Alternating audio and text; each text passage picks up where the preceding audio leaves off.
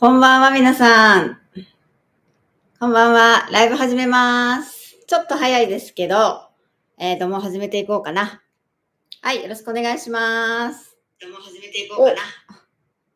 はい、今日はですね、えー使命についてですね、えー使命についてというより、使命で生きるとどうなるのかっていうのと、使命がある人とない人っているんですかっていう、このね、お話をしていきたいなと思います。えーもしね、チャットできる方がいらっしゃったら、のね、えっ、と、ここ書いていただけると嬉しいかな。はい、えーその前にですね、えっ、と、今ね、あ、お知らせなんですけど、今、あの、覚醒マスタースクールっていうのを、え今までに3回やったんですけれども、今度4回目が、え10月から始まりますので、えーあ、11月から始まりますので、10月にまた説明会をしたいと思います。えーお知らせはですね、私のあの公式 LINE で、えーお知らせをしますので、もしまだ公式 LINE の方に登録されてない方は、そちらの方ね、ぜひ登録をしといてください。はい、じゃあやっていきますね。あ、さちさん、こんばん、こんばんはになってる。えーあ、大さん、久しぶり。えじさん、2時間の栗から、こんにちは。はい、えー、日本を経ったんですね。あ、帰ってこられてたんだ。あ、ひろみさん、あ、久しぶりです。覚えてますよ。えー、ライブ久しぶりですね。はい。えー、増沢さんね、こんばんは。はい、えー、ひろさん、ありがとうございます。皆さん、いつも。えー、じゃあ早速ね、あの、使命。使命って、この使う命の方ですよ。使う命の方。で、私はこの使命を知ってから、本当にね、自分の生き方っていうのが、もうすごく変わりました。本当にそれまでの生き方と全然変わりました。で、皆さんの中には自分の使命って分かってらっしゃる方もいらっしゃれば、えーすごい知りたいなと思ってらっしゃる方もいらっしゃると思うんですけれども、これね、知ってる知らないとか、まあそれはね、置いといて、えー使命で、えー生きるとどうなるのかっていうお話なんですが、まず、使命で生きている人って、その、自分の軸っていうのが結構ぶれない人が多いです。なぜなら、え自分の使命がこれだから、これで生きるって決めて生きているから、何かちょっとね、困ったこととか、なんかこう、ぶれそうになった時でも、この使命があることによって、その、うーん、自分を立て直したりとか、そこからずれないんですよね。自分はこうして生きるんだっていうところからもう外れない生き方になるんですよ。だから、使命で生きている人ですよ。使命を知っているとか、じゃなくって、使命で生きている人は、その、ぶれないっていう方が多いです。で、この使命で生きている人は必ずしも、この使命っていうのを知っている人かっていうと、そうじゃないんです。使命を知らないのに、自然と使命で生きている人って結構多いですよ。あの、この人、私から見ると、あ、ちゃんと自分の使命で生きてあるなって思って、えー聞いても、使命とかってちょっと、うん、興味持ったこともない、考えたこともないねっていう人も中にはいらっしゃるんですよ。じゃあなんで使命で生きれるのかっていうと、その人が、あの、これでこうやって自分は生きるんだって思って、そこに固い誓いを立てた。ちょっと昭和的な言い方ですけど、そこに絶対にこうして生きるっていうところを決めた瞬間があったからです。そっからその使命とか関係なくこうして生きるっていうところに向かって、いつもいつもここに沿って歩いている。そうすると、その人は使命を生きているから、この、なんかくじけそうになったりとか、迷ったりとかがあんまりなくなるんですよね。まあ、全然じゃないですよ。たまにはこう、ブレちゃったりとか、迷ったりすることもあるんでしょうけど、その使命で生きてない人に比べたらもう全然違いますね。じゃあ、このね、使命って知った方がいいの？それとも知らない方がいいの？あの、私からすると、やっぱり私は知らなかったから、自分の使命って知らなかったから、それで生きれなくてすごい苦しかったんですけど、それは、あの、知った方がいいんじゃないかなとは思います。知らなあの知らないとそれで生きれない人は。でも、今、別にそれ知らなくっても、なんかちゃんとこれ、私はこれで生きる。あの、自分はこれで生きるっていうのがあれば、別にいいんじゃないかなと思うんですね。で、もう一つの、その、使命を持ってる人と持ってない人がいるのか、世の中に。っていう話ですけど、これは、使命を持っていない人って一人もいません。え最近は、えっと、使命があ持ってる人と使命を持ってない人といますよっていうお話も私も聞くんですよ。でも、それはないです。使命は絶対持ってます。なぜなら、私たちが人間としてここに生まれているっていうことは、何か自分がすること、何かをするために生まれてきてるんですよ。それは、その大きなこと、小さなこととかは関係ないです。で、大きいとか小さいってもともとないんですよね。それは私たちがこ、こういう使命は大きい、こういう使命は小さいって勝手に、えー、そこに価値をつけてるだけで、何にも変わらないんですね。どんな人でもその使命があって、その使命っていうのは関係ないんです。あの、どんなことだろうと。そこに違いはない。みんな大切なあの役割を持ってるわけです。役割と目的を持って生まれてきてるんですね。じゃあ、例えばその世界をこう変えるぐらいの大きな使命を持ってる人がいる一方で、例えば自分とその周りの、例えば家族だけの、えー、幸せのために、えー、生きる役割で、こう、二通り、まあ大きく分けたらね、いるとしますよね。そうすると規模が全然違うかもしれないですけど、その使命としては同じなんですよ。あの、宇宙から見たら、どっちの使命も同じぐらいなんですよ。ただ違うだけなんです。役割が。それが使命の違いなだけで、えー、例えばですよ、この大きな役割、例えば大統領だとか、ね、えー、そういう政治家だったりとか、大きなことをする人は、この人の使命ってすごいんだって思いがちじゃないですか。でもそうじゃなくって、この大統領の方とか、例えば、まあ、天皇陛下だったりとかね、えー、は、確かに、すごい、あの、大きいですよ、使命としてはね。地球から見ると。でも、例えば一家のお父さんとして、この家族を、まあ、あの、守って、子供を育てて、え、大学まで出してとか、そういう役割の使命の人が、じゃあちっちゃいから大したことないとか、取るに足りないとか言うとそうじゃないんですよ。その人はその人の使命をちゃんと生きて、えー、全うして生涯を送るわけですね。ここに大統領との違いって全く何にもないんです。1ミリもないです。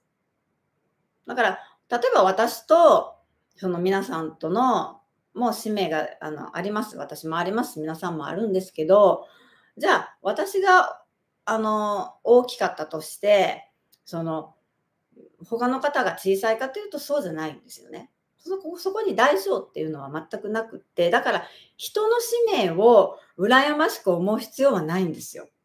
私もあんな人の使命が良かったとか、ね、あんなに人に影響を与えるような使命がいいのにって思う人いると思うんですけど、これね、おかしいですよ、それ思うこと自体がね。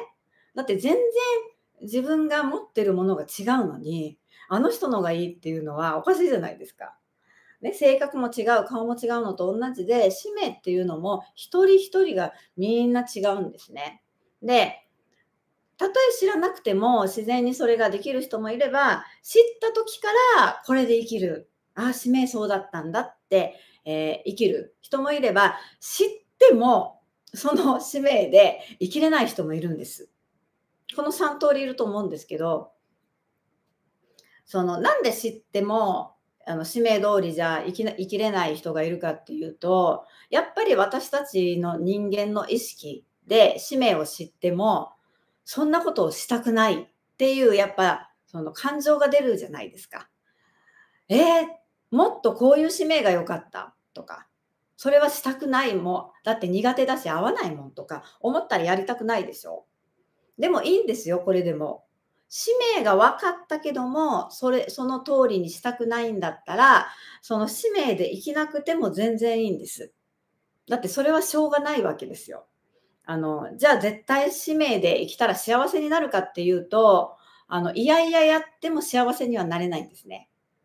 これをいやいややると、あの、余計人生って、あの、もう不満とか、うまくいかないことだらけになるので、ただ、あの、使命が分かって、あ、なるほどと思って、そこからその使命を生きようとして、だんだんその、や、やっていることが腑に落ちていく。ああ、本当にそうだ。自分の使命ってこれだったんだって、腑に落ちるたびに、その使命で生きることが反対に喜びになっていきます。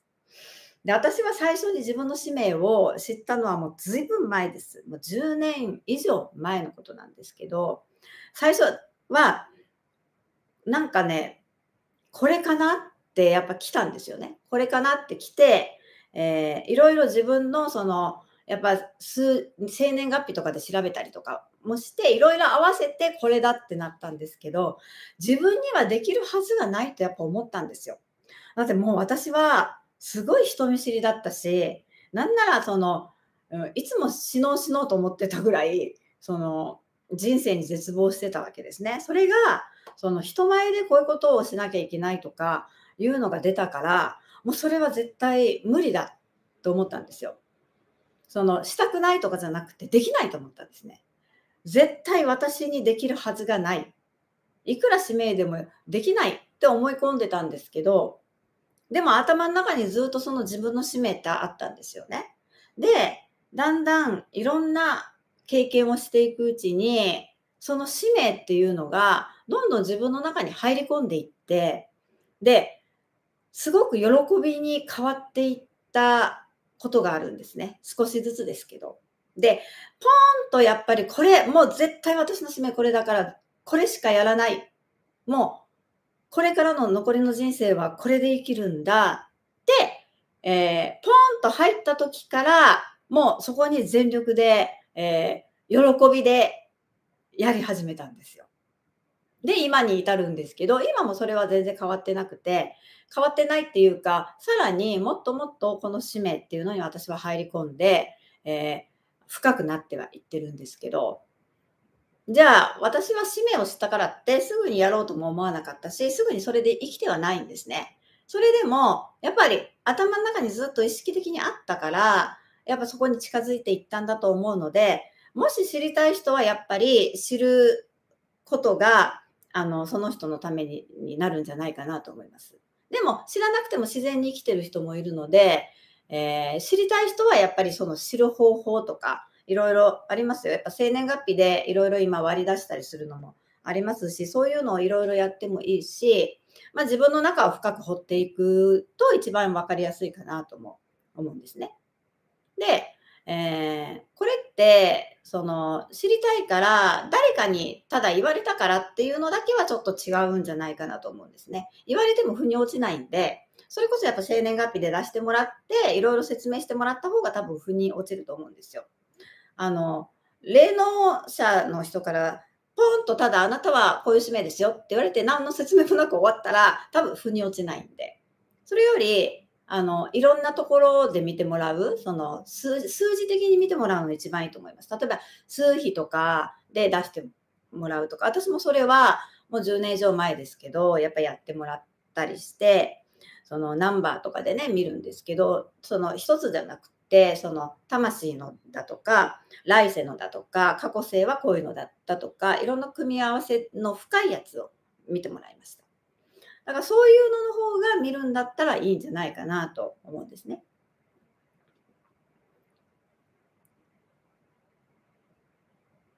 あめちゃん、こんばんは、初コメです。ありがとうございます。よくいらっしゃいました。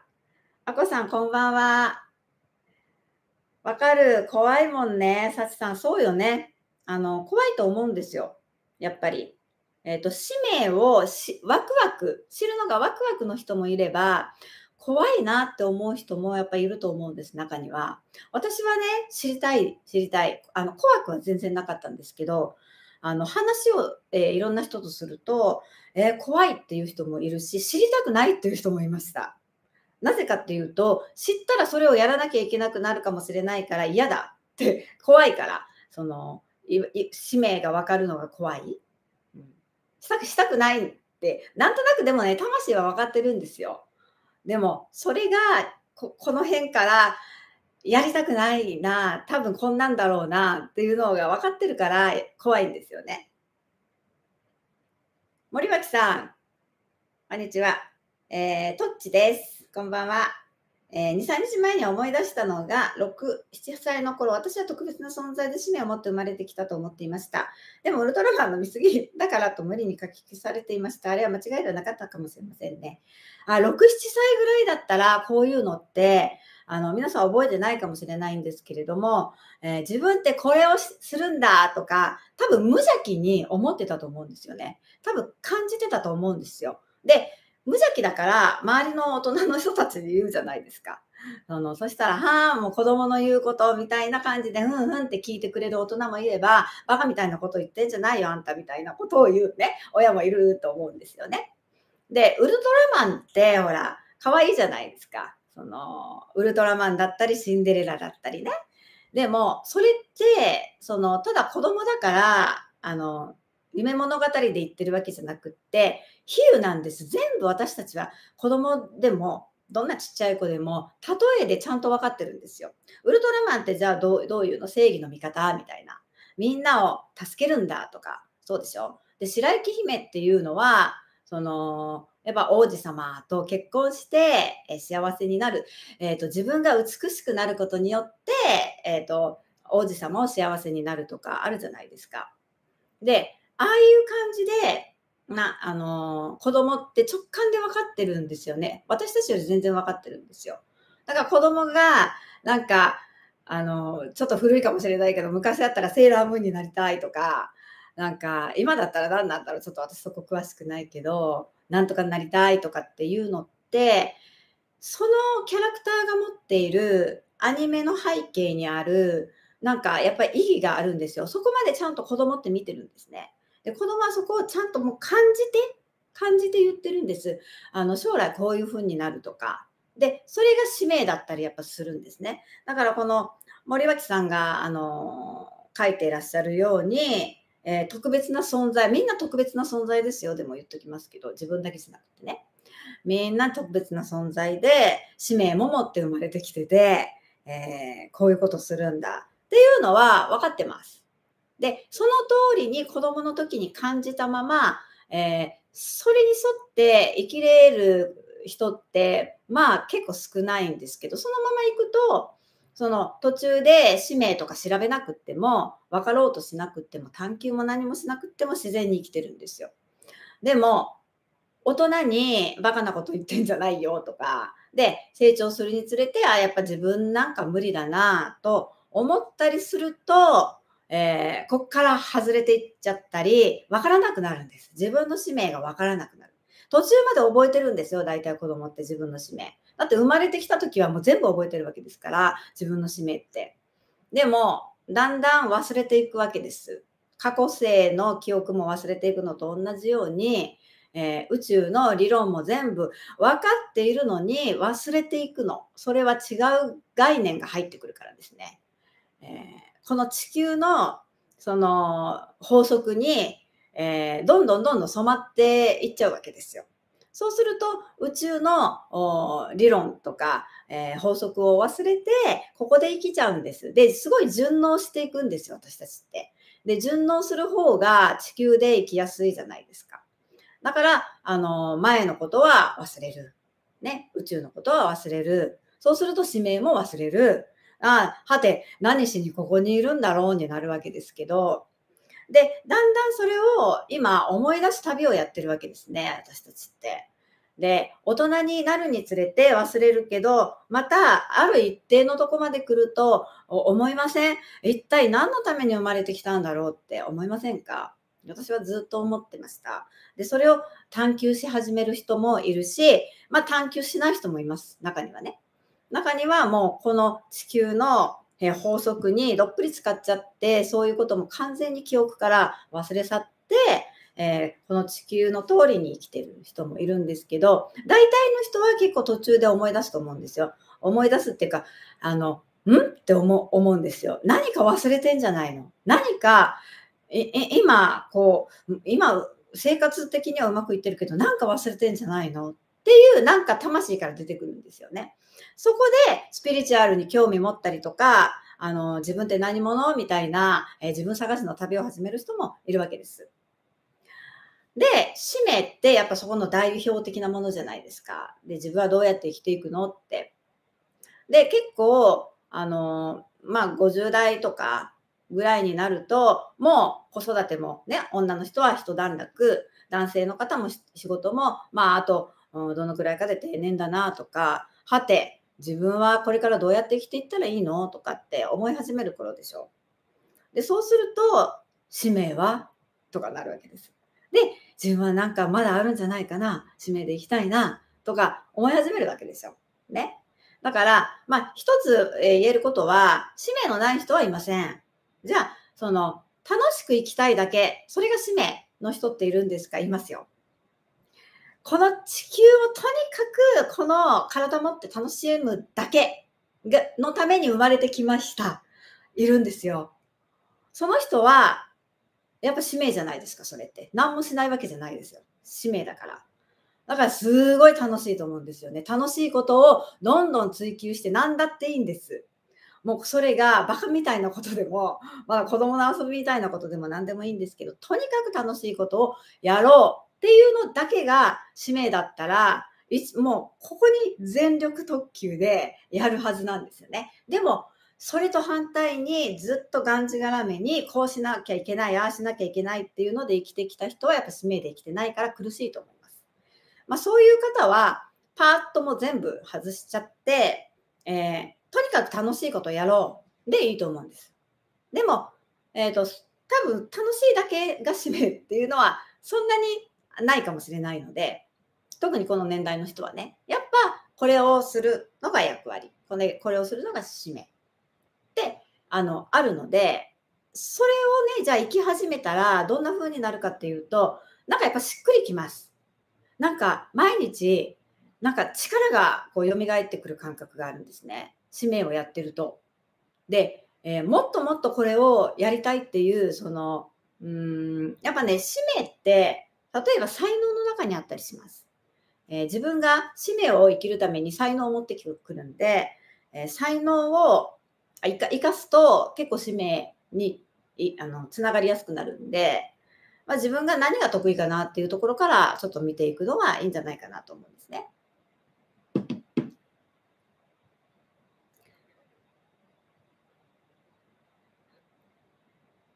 これは、い、い、い、いちご、いちご、あ、メルさんって読むんだ。こんばんは。初ライブですわ。ありがとうございます。よくいらっしゃいました。えー、昔から魔法使いと歌手の人が好きだった。じゃあ、魔法使いみたいに何かこう、人に魔法をかけちゃうとか、ね、えー、歌う、歌うことで、まあ自分も癒すし、人も癒すし、元気にするしとかが使命なのかもしれないですよね。サチさんはね。えー、アコさん、生きているだけで使命、感謝です。うん。そうなんですよ。生きているのは確かに、あの、生きているだけでいいんですけど、じゃあ、生きてるだけで何にもしなかったら、それは多分使命ってならないんじゃないかな。ただ、自分が生きてるだけで誰かを喜ばせることはできるから、まあ確かに生きてるだけで使命っていうのもあると思いますね。幼い頃からずっと馴染めなかった地球でした。現実の親はいるのに、いつも本当の親に会いたいと夜空を見上げていた不思議な子でした。わ、一生、私もそうです。早く帰りたいと思ってた。ずっと星を見上げて、早く帰りたい、早く帰りたい。ずっと思ってましたよ。あのね、40代半ばくらいまで ずっと思ってました。そう年代によってね、やっぱあるんです。今の本当に若い10代、20代の子たちって、あの早いんですよ。えー、自分って使命って何だろうって気づくのが早いし、割とそこも考えなかったりとか、もう、もうちっちゃい頃に、あ、自分の使命ってこれだって感覚的に分かって、それ生きてる子供が結構多い。若くなればなるほどね。でもやっぱね、40代とか50代になると、まあ、そこは、あの、いろ、いろんな、やっぱり、えー、この地球に染まりやすかったから、結構地球で、地球のやり方でやってきてる人が多いんですよね。で、えー、大体今ぐらいになって、さあ自分の使命って何？って思い始めたりとかね。さえー、っと、30年ほど前に魂が永遠だと確信して、死んでもできる仕事を今から準備しようと思って、4年かけて転職しました。使命かどうか分かりませんが、転職だと思う。ああ、そうね。それは、そうそう。これは偶然でも何でもなくって、それはあなたの使命ってこうですよ、みたいな感じで、あの、魂のとこから来てるんじゃないかなと思うんですね。だからやっぱそういうのが、あの、来た時はもう本当にそれが使命だっていうね、えー、感覚で生きていくといいじゃないかなと思いますよ。うん。だから皆さんの中には、いや、もう自分の使命分かってるから、それによって生きてるんだけども、なかなかこう使命、使命で生きてるはずなんだけどうまくいかないよっていう人もいると思うんですよね。で、まあ、まだわからないっていう人もいれば、まあ、まあ、生きてるだけで使命だから別にいいや、知らなくてもっていう人もいる、いろんな方がいらっしゃると思うんですね。でも、やっぱね、その使命で、じゃあ自分の使命を探すとか、絶対使命で生きなきゃいけないとか、まあそういうところはもういいやって思ってもいいと思うんですね。今、とにかく自分が幸せで、周りが幸せで、えー、今これをやりたいと思って生きてるんだったら、もうそれは使命なんだと思うので、そこはそこで、あの、もう人によってね、いろいろな生き方があると思います。ただ、使命がない人はやっぱり、えー、世の中にいませんし、で、使命で生きる方が、まあ、うまくはいきますよっていうことですね。ただ、あの、人間式の方が優先は優先なんですよ。どんなに、あの、使命で生きることを、あの、自分の使命を持って生まれてきても、人間意識が抵抗して絶対それはしないっていうんだったら、どもう、使命をさせられる方向にはもうあんまりいかないんです。あの、何回か来ますよ。やっぱそれでも使命やんなさい、やんなさいって、えー、来ますけど、それでもガンとして嫌ですって断れば、もう使命やらなくていい方向に行くんですね。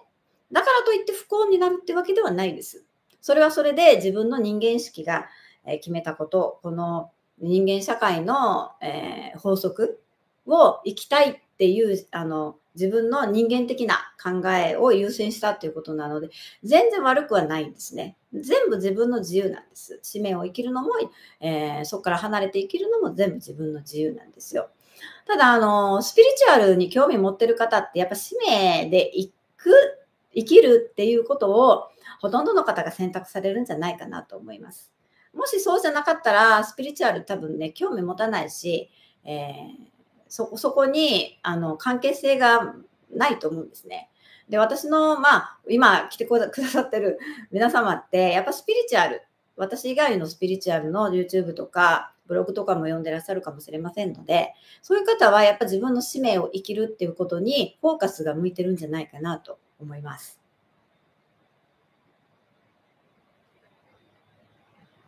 7年前にあなたは生命からしてベトナムに縁がある。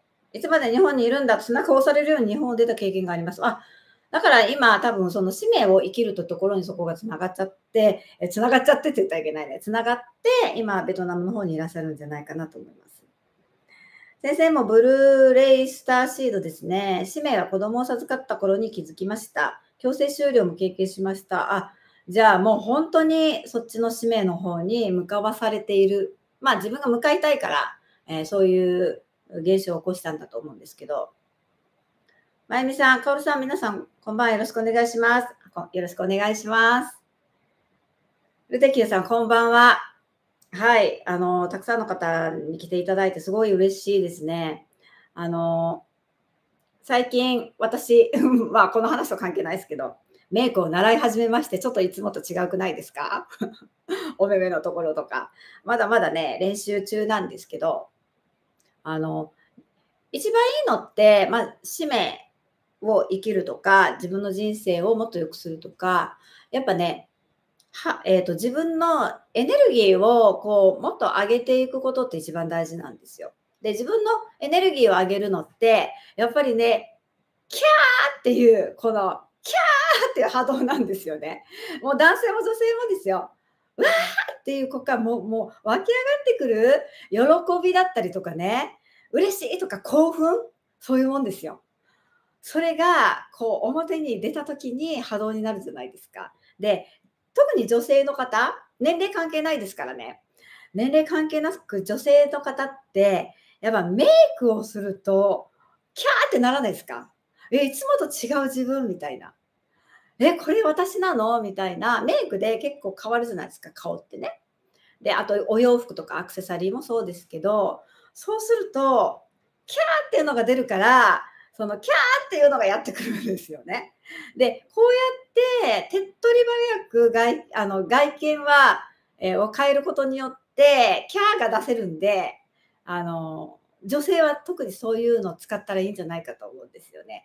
で、あの、メイクの方が、ね、教えてくれた方が言うんですけど、やっぱね、な、お肌にツヤ、ツヤが出るのってすごい大事なんですって。まあ、なんか斎藤ひとりさんもよく言ってるじゃないですか。顔にツヤを出しなさいよって。でも本当にそうだと思います。その、ほぼほぼ化粧とかあんまりしなしなくっても、顔にツヤがあるだけですっごい綺麗に見えません？だから今日私、あの、ファンデーションとかもほぼほぼ塗ってないで下地のやつだけなんですけど、その方がツヤが出るんですよ。で、パウダーとかファンデーション乗せちゃうとツヤが消えるじゃないですか。だからやっぱツヤを生かすためには、あんまりその粉だったりとか固形のファンデーション塗らない方がいいらしいんですね。で、あの、目元とかも、こう、ちょっとキラッとこう、なんかパールが入ってるのとか、するとツヤが出るでしょ。で、男性の方も、なんかこう、クリームとか塗って、ツヤツヤにね、お顔つ、男性でもツヤツヤの顔の人ってやっぱり服がこう、あるように見えるんですよね。なんか豊かな感じとか、幸せそうな感じとかするじゃないですか。だからやっぱね、こう、お顔も、まあ、あの、手とか首とかもですよ。やっぱガサガサよりも、あの、ツヤツヤ髪の毛とかもそう、全部ツヤツヤにしてると、なんかここの人ってすごいなんかこう、幸せな人なんだなっていうふうに、あの、外から人からも見れるし、自分が鏡見ても見れるし、なんなら宇宙から見ても、ツヤツヤの人ってやっぱね、見つけてもらいやすくなるから、やっぱね、ツヤを出すと幸運に恵まれます。そして気分が上がるんですね。ぜひ、あの、もう私年だからとか、そんな綺麗じゃないからとかって関係ないから、やってみてくださいよ。艶出して。本当いいですよ。もう私だから、もうなんか、綺麗にこうメイクの仕方とか、やっぱ習うとね、キャってななりましたもんね。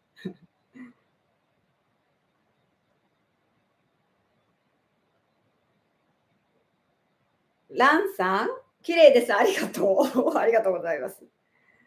いつも綺麗だから分かんなかった。もうありがとうございます。そのまま受け取らせていただきます。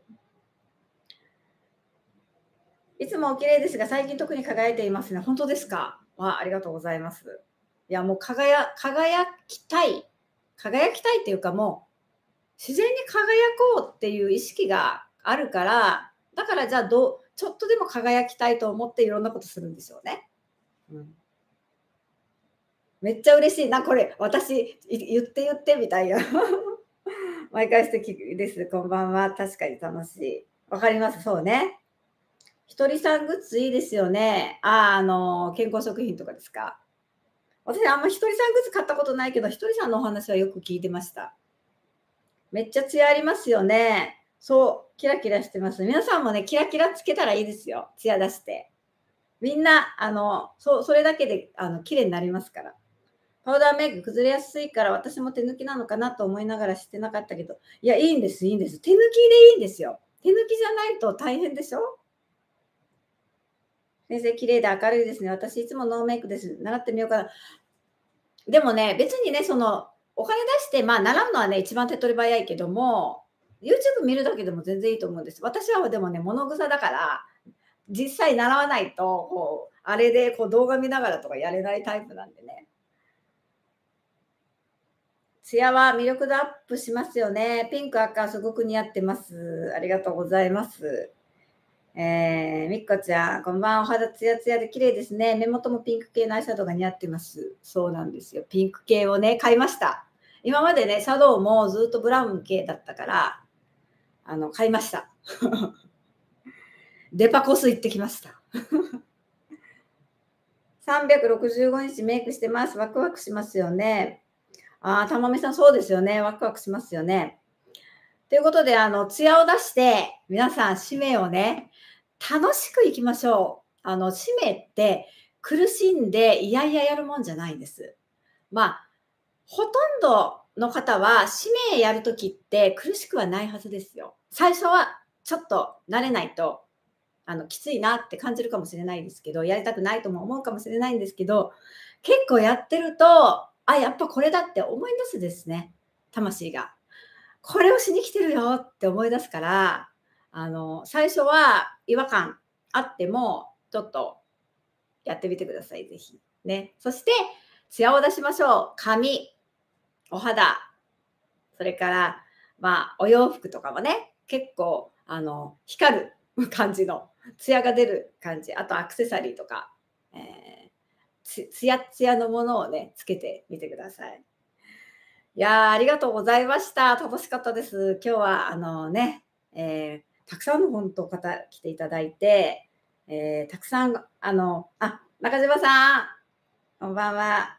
あ、介護なんですね。幸せでしょ？ねやっぱそうやって介護を通して使命を生きてらっしゃるから、だから幸せなんですよね。うん。そうなんです、そうなんです。いや、今日は本当に皆さん、たくさん来ていただいてありがとうございました。楽しかった。また、あのー、ライブします。で、インスタ始めたので、ぜひぜひインスタフォローしてください。下にね、えー、載ってます、インスタのあのアカウントが。それから、えっ、ー、と、覚醒マスタースクールが、えー、来月ね、え、また、えー、3期の募集が始まりますので、えー、ぜひぜひ、あの、公式 LINE の方でご案内しますので、まだの方は LINE 登録の方もお願いします。全部下に あの、説明欄の方に全部載ってますので。はい。じゃあ今日はどうもありがとうございました。本当に、えー、皆さんぜひぜひ使命を生きて、えー、ツヤを出していきましょう。ありがとうございます。じゃあ、終わりたいと思います。あ、あら、またなんか変なのが出てきたね。これは終わらないパターンかなこれは終わらないパターンやな。はい、じゃあ終わります。さようなら。